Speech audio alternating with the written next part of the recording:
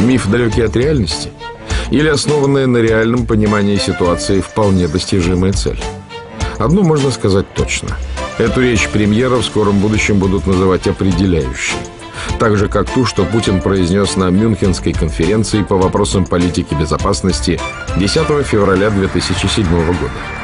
И суть этой речи, и тон, в котором она была произнесена, произвели тогда на мировое сообщество колоссальное впечатление. НАТО выдвигает свои передовые силы к нашим государственным границам. И если сегодня э, новый министр обороны Соединенных Штатов здесь нам объявит, что Соединенные Штаты не будут прятать эти заряды лишние ни на складах, ни под подушкой, ни под одеялом, я предлагаю всем встать и стоя это поприветствовать.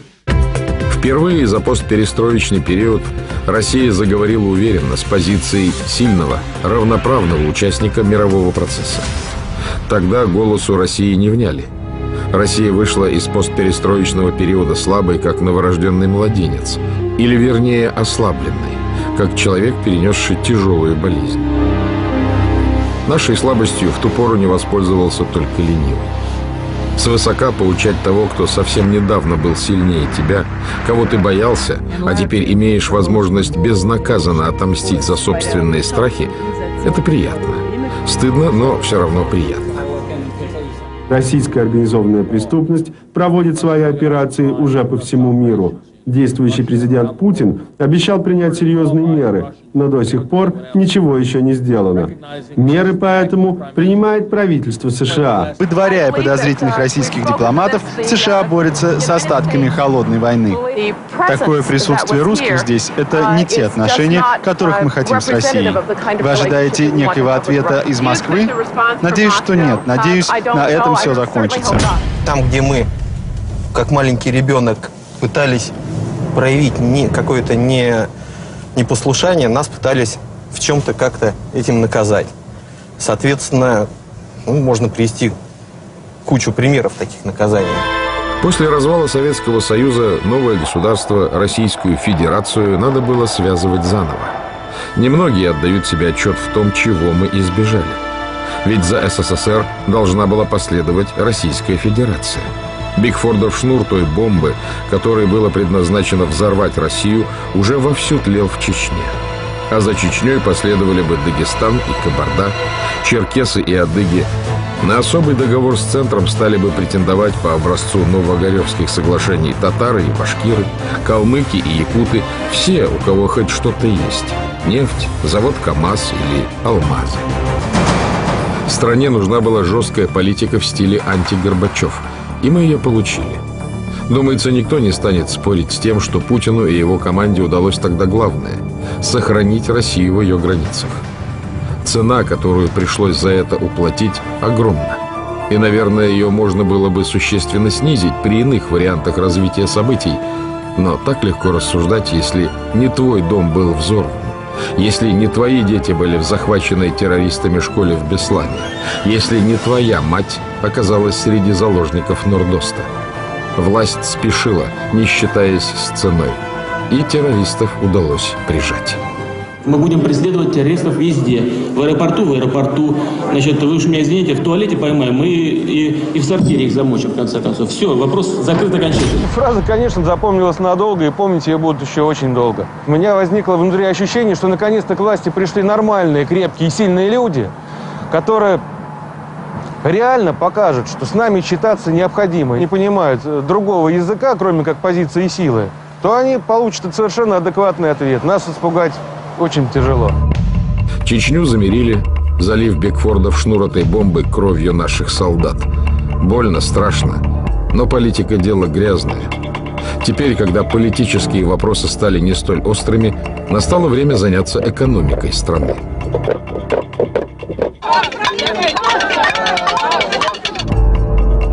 Кажется, что все это – забастовки шахтеров, задержки зарплат бюджетникам, нехватка буквально всего – было у нас бог знает когда, в прошлой жизни, в прошлом веке. Но только последнее утверждение верно. Ведь так было в нашей стране чуть больше десяти лет назад. О чем мы тогда мечтали? Чего хотели? Что требовали от власти? Мы иногда с друзьями принимаемся вспоминать те времена. Кажется, что все это не с нами было. С 90-х не так много времени прошло, а все так изменилось. Вот если бы меня тогдашнего перенести в сегодняшний день, я решил бы, что я не в России, а где-то за границей оказался. Да, с тех пор в нашей стране многое изменилось. На сайте Владимира Путина, созданном в преддверии выборов 2012 года, не так давно была опубликована его авторская статья «Россия сосредотачивается. Вызовы, на которые мы должны ответить». Период восстановления пройден, пишет в ней Путин. Постсоветский этап в развитии России, впрочем, как и в развитии всего мира, завершен и исчерпан. Созданы все предпосылки для движения вперед на новой базе и в новом качестве. Начали с того, что стали возвращать под контроль государства компании, которые занимаются разработкой природных ресурсов. Из сырьевых госмонополистов вроде «Газпрома» сделали своеобразные локомотивы общероссийской экономики. Широкая газификация, в которую «Газпром» с 2001 по 2010 год вложил больше 127 миллиардов рублей, благодаря десяткам тысяч километров проложенных газовых трасс, позволила обеспечить газом сотни населенных пунктов. А это принципиально иное качество жизни. Кроме того, вложения «Газпрома» в социальную сферу позволили построить сотни физкультурно-оздоровительных комплексов в провинции. Еще совсем недавно люди здесь ни о чем подобном и слыхом не слыхали. У нас два бассейна в нашем районе. Вот. И это очень хорошо. Поскольку для многодетных, для детей из многодетных семей в одном из них у нас бесплатное посещение, и у меня ходят туда все дети, Старшие ходят только самостоятельно, а младшие ходят, я с ними хожу. Вот. Они плескаются в лягушатнике, а я плав, рядышком плаваю. И замечательно для здоровья, полезные эмоции, очень много положительных дает. А потом мир проголосовал за проведение очередной зимней Олимпиады у нас в Сочи.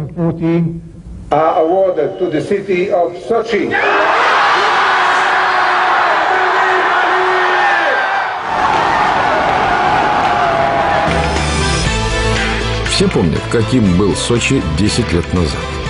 Темные улицы, загаженные, перегороженные ржавыми решетками на зоны пляж. Морально устаревшие санатории и пансионаты советской поры. Что мы получим после того, как все олимпийские объекты будут введены в строй? Суперсовременный курорт мирового уровня. Мы хотим, чтобы этот масштабный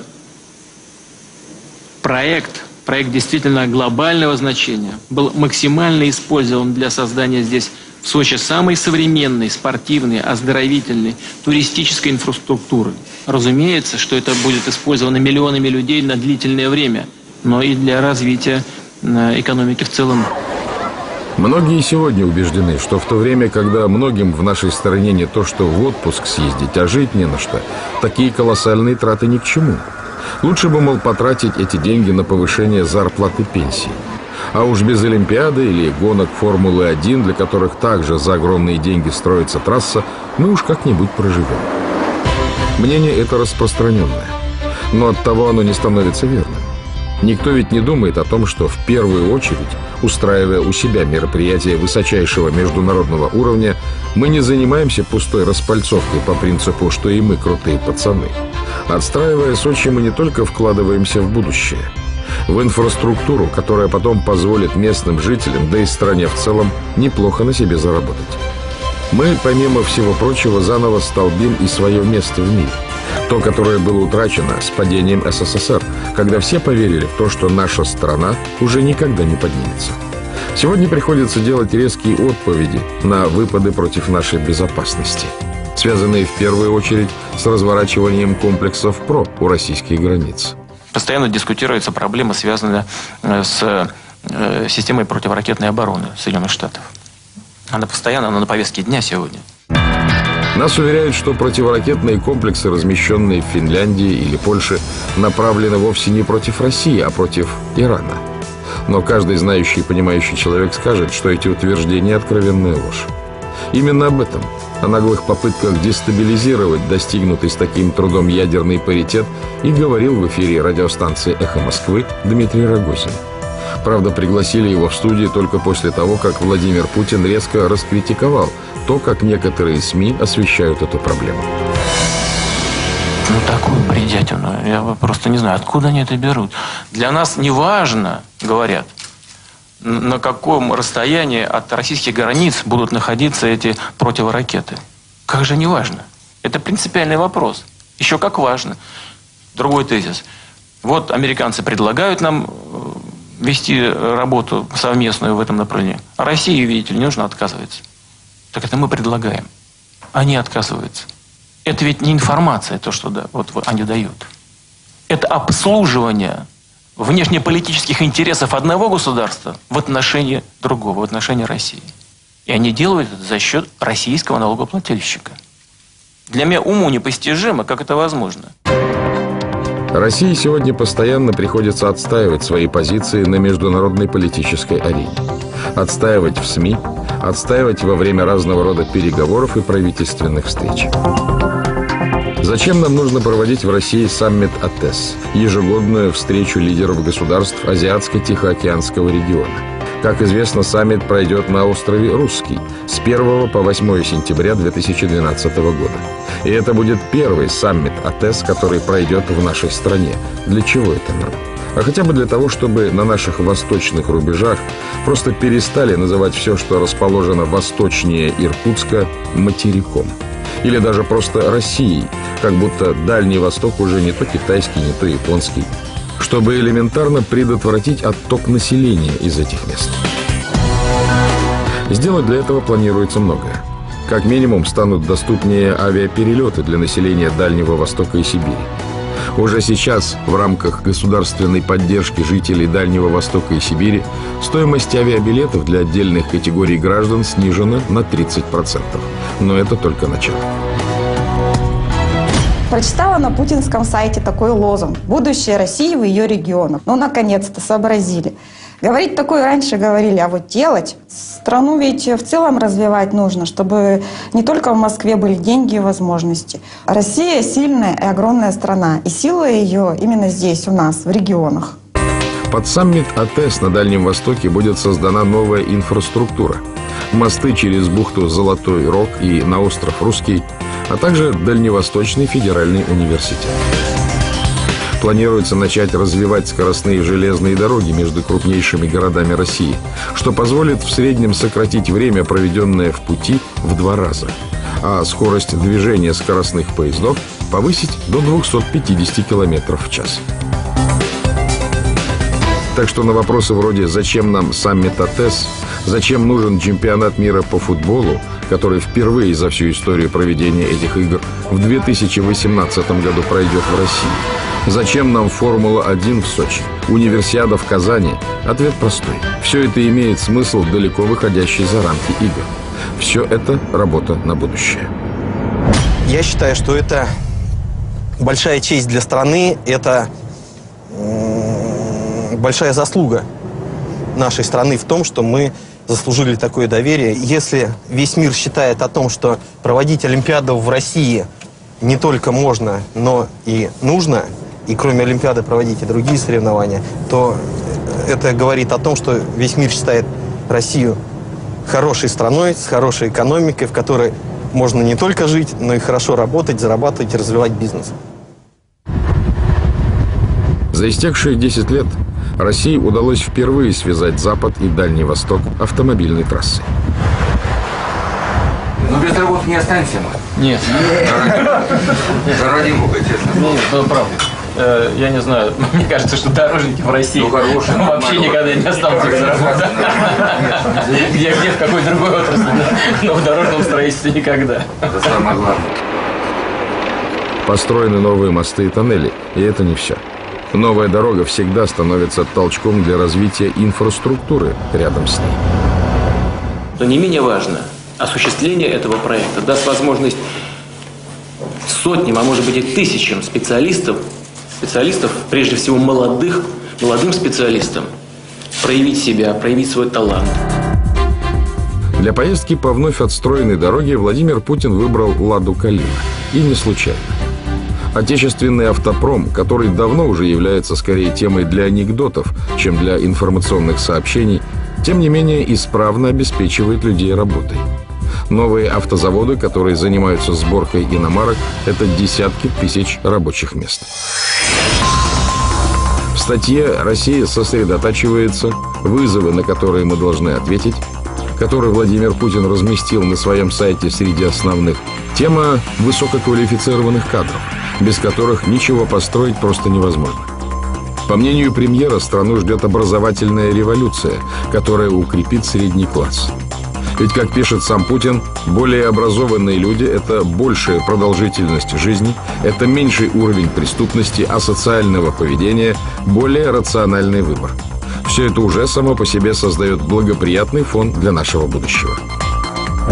Средний класс – это я, это мои друзья. Обычно средний класс пытаются объединить по уровню дохода. Но это не главное. Главное – это та жизненная позиция, которую мы занимаем, даже неосознанно. Я, в общем-то, аполитичен. И на Болотную площадь я не ходил. Хотя многие мои друзья там были. Нам не все равно. Нам не все равно, в какой стране жить.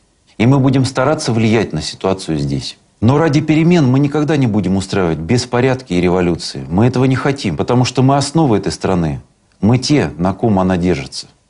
В 1998 году средний класс составлял от 5 до 10% населения а сейчас от 20 до 30. Владимир Путин в своей статье так определяет, что такое средний класс в нашей стране. Это люди с доходами, которые позволяют в достаточно широких пределах выбирать, потратить или сберечь, что купить и как именно отдыхать. Они могут выбирать такую работу, которая им нравится, у них есть определенные накопления. И, наконец, средний класс – это люди, которые могут выбирать политику. Все, с кем мы говорили, отмечают главное – Жизнь за эти 10 лет стала более стабильной, более предсказуемой. Уже не так страшно строить какие-то более или менее долгосрочные жизненные планы. Число людей, живущих за чертой бедности, удалось существенно сократить. Естественно, все понимают, что ситуация далека от идеала, и еще предстоит сделать очень много, но процесс идет. Строительство чего бы то ни было – дело трудное и занимает массу времени.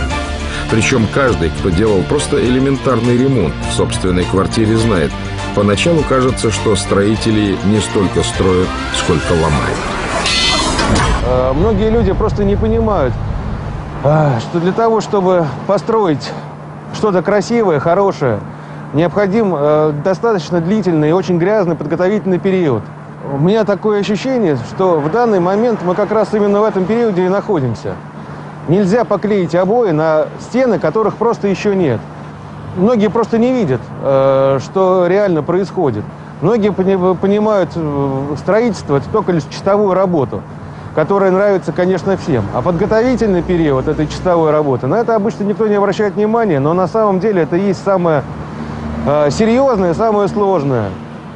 Без этого базиса нельзя ничего делать. Много говорилось про выстраивание вертикали власти. Но опять-таки мало кто понимал, с чем тогда на самом деле боролась власть.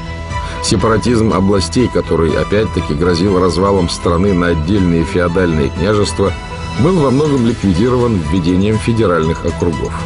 Мы об этом подзабыли.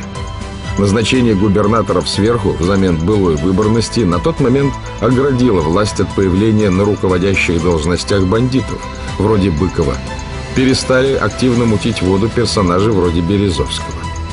Теперь же, когда ситуация изменилась, правительство вновь готово вернуться к прежней системе. О том, что губернатор вновь станет должностью выборной, сказано с самых высоких трибун.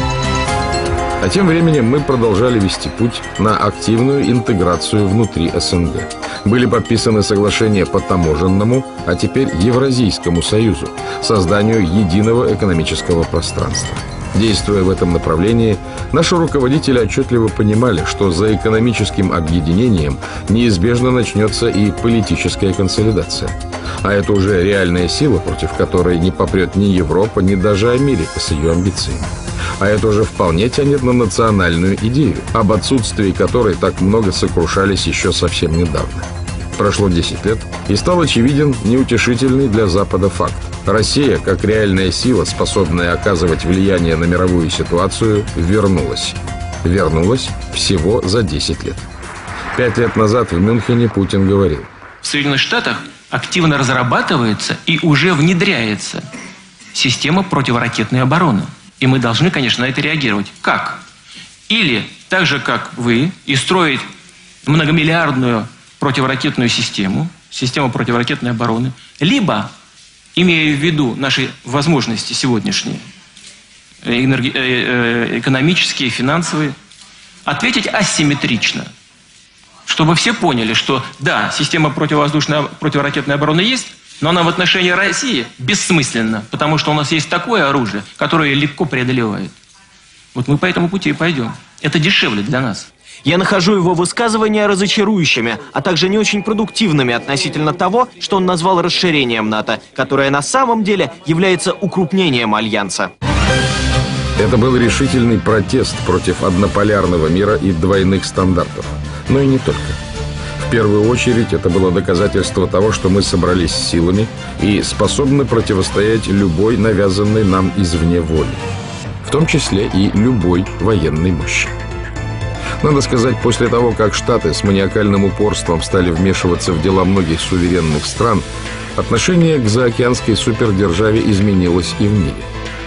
Особенно это стало заметно после вмешательства США в дела суверенных стран на Ближнем Востоке и в Северной Африке. Ливийские события заставили Владимира Путина высказаться до предела жестко. Беспокоит та легкость, с которой принимаются решения по применению сил в международных делах сегодня. И, скажем, в, в политике Соединенных Штатов это приобретает устойчивую тенденцию и тренд. Под надуманным, совершенно лживым предлогом ввели войска в Ирак, ликвидировали все иракское руководство. Даже дети погибли из семьи Саддама, э, Саддама Хусейна. Значит, э, теперь э, на очереди Ливия под предлогом защиты мирного населения. Но при нанесении бомбовых ударов по территории гибнет как раз это мирное население. Где же логика и совесть? Нету ни того, ни другого. Изрядно подпортил Америке имидж и спровоцированный США мировой экономический кризис. За тот же период Россия, напротив, завоевала к себе уважение.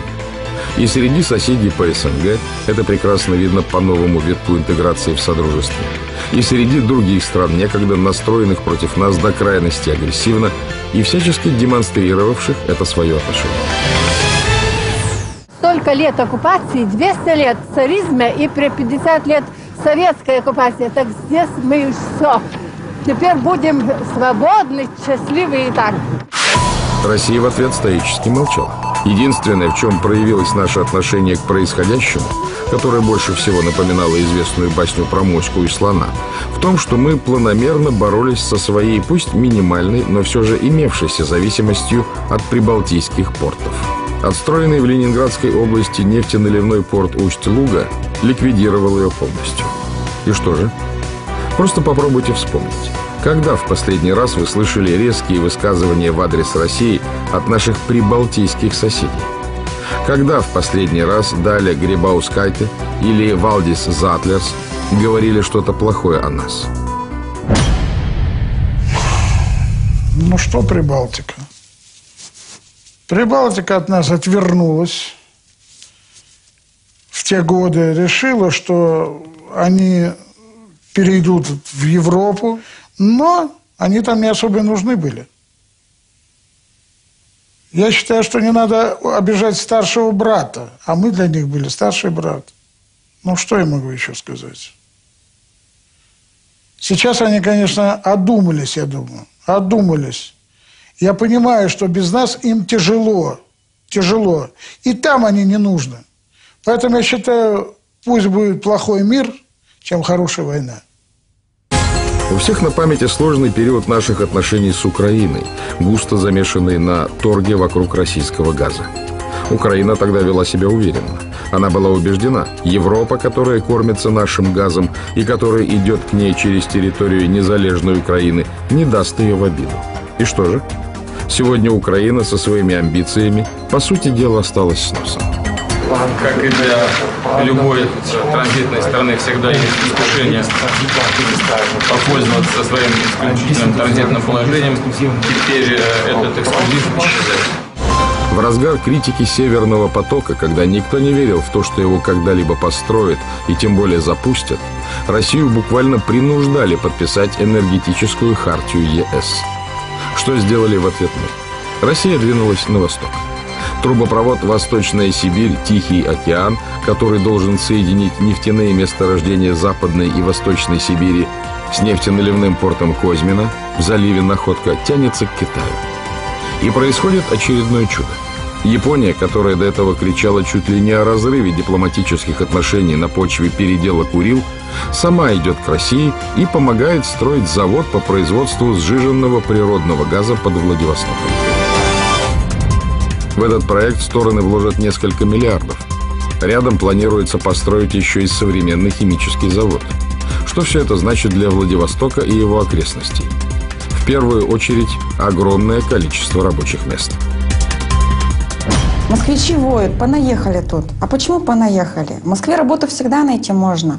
А если бы в регионах развивалось производство и была достойная зарплата, а, я бы не уехала из родного города. А раз я и другие такие, как я, не поехали бы, а работали на региональных предприятиях, тогда бы в стране подъем начался, и все бы развивалось. Тогда бы китайцы и японцы и думать бы забыли о нашем Дальнем Востоке. А тем временем и Европа, осознав, что может потерять российский газ вообще, как-то смолкла. Яростные протесты северных стран, которые клялись, что не пустят российскую газовую трубу в Балтику ни под каким видом, просто прекратились. На переговоры и получение одобрения Европейского Содружества ушло 4 года. Газопровод проложили и запустили в течение полутора лет. И сегодня все в Европе до крайности довольны. Это сотрудничество экономически взаимовыгодно, и Россия и страны-получатели газа только выиграют. Я хочу искренне поблагодарить всех, кто участвовал в реализации этого проекта. Газ пошел в Европу через Балтику. Украина, позиция которой казалась лидером этой страны идеальной и совершенно неуязвимой, наказана за ошибку в выборе союзников и неверный тон в межгосударственных отношениях с Россией. Споры вокруг раздела шельфов в Арктике привели к тому, что Россия, недолго думая, просто застолбила свои морские арктические границы. Соперники пока их не признали, но никто не рискнул их оспаривать или воткнуть в наше арктическое дно свой флажок. Однако непременно сделают это, если Россия проявит слабость. Проверку на прочность мировой экономический кризис 2008 года мы пережили без особых встрясок. Вспомните – у нас не было самоубийств и катастрофических разорений, как в той же Германии. Благодаря тому, что нефть стоила дорого, был создан стабилизационный фонд.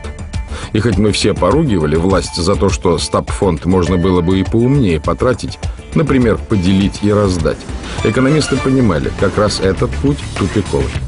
Да, необходимость спасения от разорения банков за счет общего стаб-фонда – вопрос спорный, но факт остается фактом. За последние 11 лет российский индекс РТС вырос со 179 до 2087 пунктов, более чем на 1000%. Для сравнения, рост Китая составил 100%, Индии – 260%, Бразилии – более 300%. Европейские фондовые рынки при этом особых изменений не претерпели. Американские же после мирового экономического кризиса, напротив, скатились вниз. Как-то незаметно, конечно, для тех людей, кто не следит за вопросами глобальной экономики, мы вошли в некий клуб динамично развивающихся стран.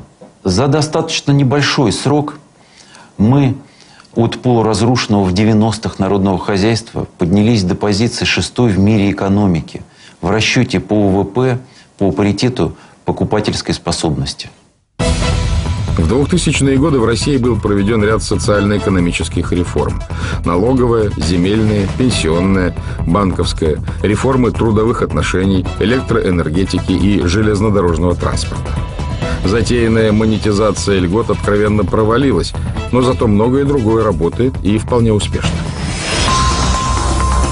Владимир Путин в своей статье «Россия сосредотачивается. Вызовы, на которые мы должны ответить» пишет – Нашу задачу на предстоящие годы вижу в том, чтобы убрать с дороги национального развития все то, что мешает нам идти вперед.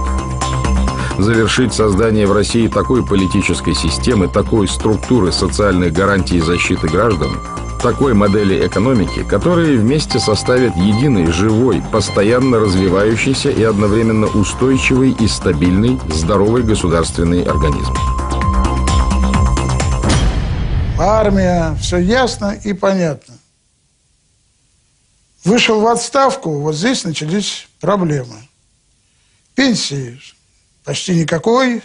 Мы с женой пошли работать, ну, как и все, в принципе. На рынок торговали и картошкой, и селедкой, и все, чем угодно. Сейчас добавили пенсию, получаем ее исправно. Нам ее пока хватает на двоих. У нее пенсия, у меня. Ну вот я думаю, что по сравнению с тем, что было, конечно, намного лучше, намного легче стало жить. Ну, хоть что-то впереди светится, какой-то огонек, как солнышко. Укрепление обороноспособности нашей страны также идет полным ходом. С постперестроечных времен, когда финансирование армии резко упало, Россия постепенно набирала обороты. В ближайшие 5-10 лет мы должны вывести на новый уровень и наши вооруженные силы. На качественно новый уровень. Это будет непросто, но мы обязаны это сделать, если хотим защитить достоинство страны, если хотим защитить нас, наш суверенитет, самостоятельность, защитить граждан России. Но уверенная позиция, которую в последнее время все чаще демонстрирует Россия на мировой политической арене, далеко не единственное наше достижение. А для многих россиян и не самое важное. Зачастую куда выше ценится другое – с 2000 по 2011 год реальные доходы россиян увеличились в 2,6 раза, зарплаты в 3 раза, пенсии в 3,5 раза. Причем даже в самый разгар мирового экономического кризиса этот процесс не был остановлен. За ближайшие 20 лет планируется создать не менее 25 миллионов рабочих мест нового качества с достойным уровнем оплаты. Еще один лозунг, с которым на выборы идет Владимир Путин – Работающий человек в России не будет бедным. Материнский капитал. Деньги, которые выплачиваются женщине при рождении или усыновлении ей второго и всех последующих детей, позволил многим семьям решиться на то, чтобы не ограничиваться одним ребенком. Изначально оговоренная сумма материнского капитала в 250 тысяч рублей с учетом инфляции в 2011 году составила почти 366 тысяч. К концу 2010 года сертификат на материнский капитал получили около 2,5 миллионов российских семей. Материнский капитал – это здорово, но мы пока еще не решили, куда вложить. Мы думали в образовании детей, они пока маленькие, пока вроде не требуется. Квартира у нас есть, опять же, государство нам в этом помогло, вот. А очень хотелось бы и ждем этого закона, чтобы можно было вложить материнский капитал в покупку автомобиля. Потому что семья большая, автомобиль нужен. Это наша мечта сейчас. Среди моих знакомых очень мало многодетных семей, и многие не понимают, как это в наше время, трое детей, тяжело, с одним бы справиться. Но мне хочется еще и четвертого, и пятого, и я уверена, что у нас все получится, и мы справимся, все будет хорошо. В 2010 году в нашей стране родилось детей на 41% больше, чем в 2000 году. Уровень младенческой смертности в 2010 в сравнении с 2000 годом снизился более чем вдвое. За 10 лет естественная убыль населения снизилась в 4 раза – к 2011 году средняя продолжительность жизни у населения России выросла на 3,5 года по сравнению все с тем же 2000 годом. О чем это говорит? О том, что качество жизни в нашей стране выросло.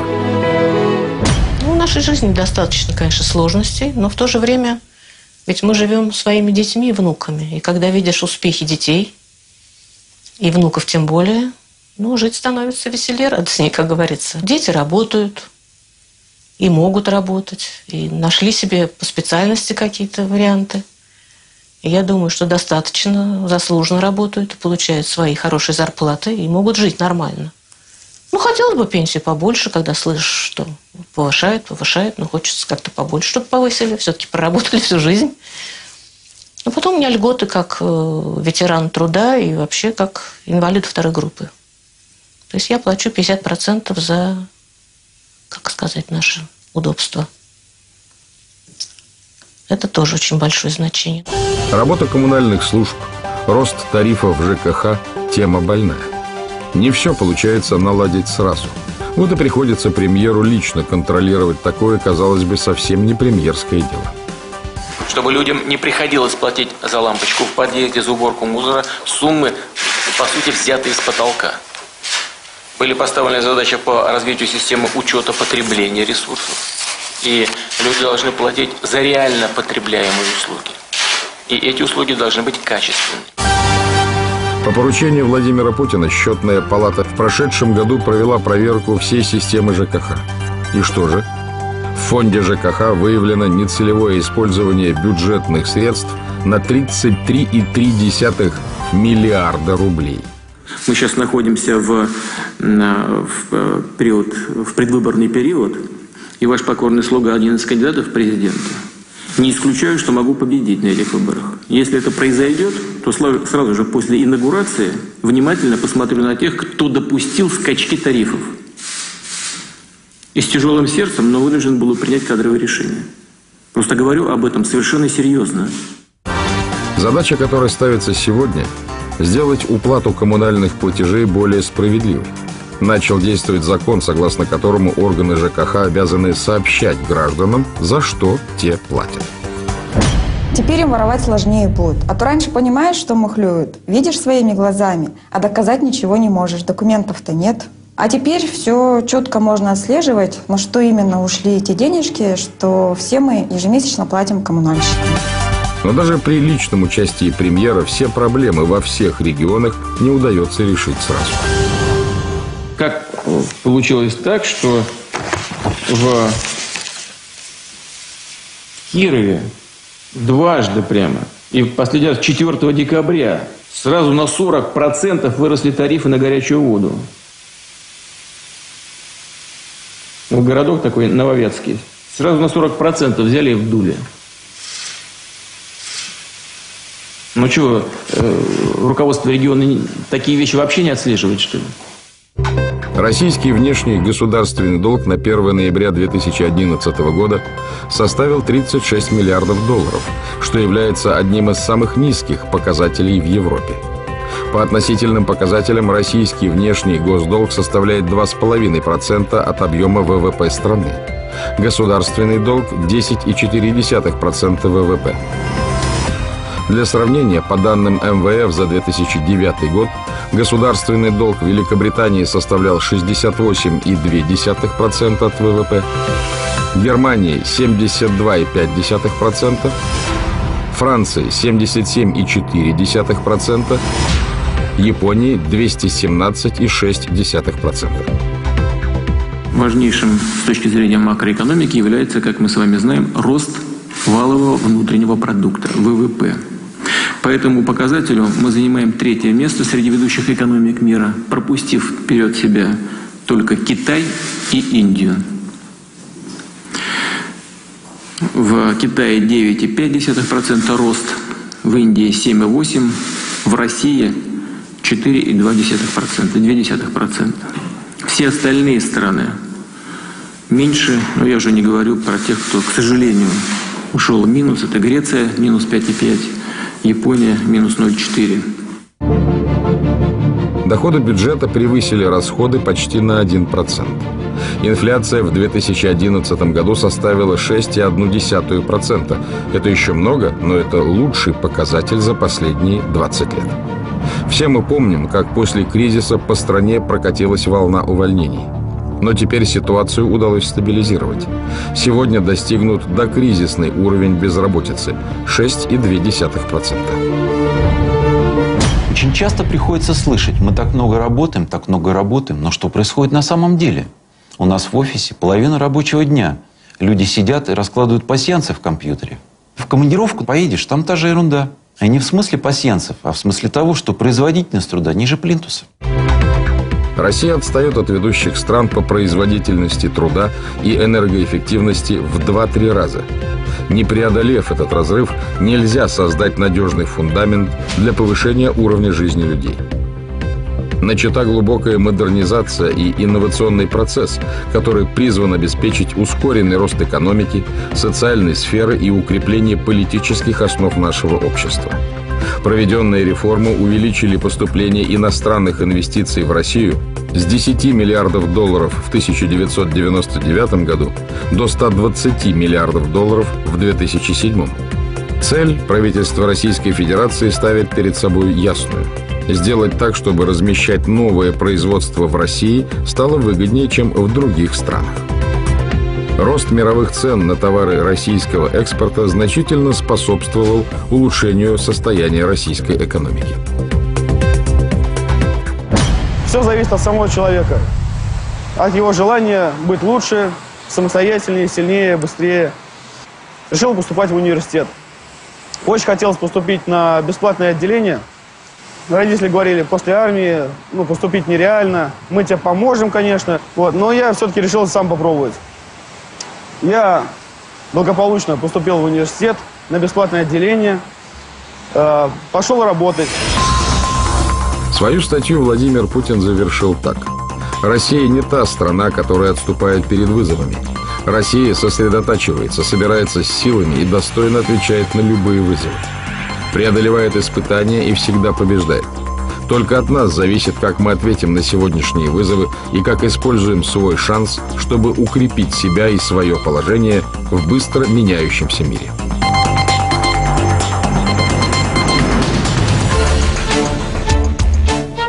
Часто приходится слышать «я на выборы не хожу». Все равно ничего не изменится, посчитают так, как им надо. Иностранцы изумляются, слыша такое. От кого же еще все зависит? Кто может привнести перемены, если не люди, которые живут в той или иной стране? Только равнодушный и ленивый ничего не сделает, просто потому что не захочет. Тот, кому не все равно, тот, кому хочется, чтобы его страна двигалась в верном направлении, чтобы жизнь становилась год от года лучше, приложит к этому усилия. И на своем рабочем месте, и в родном городе, во дворе, где он живет. А из этих локальных, небольших, но общих усилий и сложится основное. Мы по-прежнему будем двигаться к лучшему. И кто знает, может озвученная правительством перспектива через 10 лет ввести страну в пятерку крупнейших экономик мира не окажется такой уж неизбыточной мечтой. Ведь судя по тому, что мы сделали за последние 10 лет, обещания правительства очень похожи на правду. Но есть два непременных условия для того, чтобы эта цель оказалась достигнута. Нельзя иметь короткую память и нельзя быть безучастным. Это только в сказке добро побеждает зло всегда, безусловно. В реальной жизни для этого надо хорошенько потрудиться.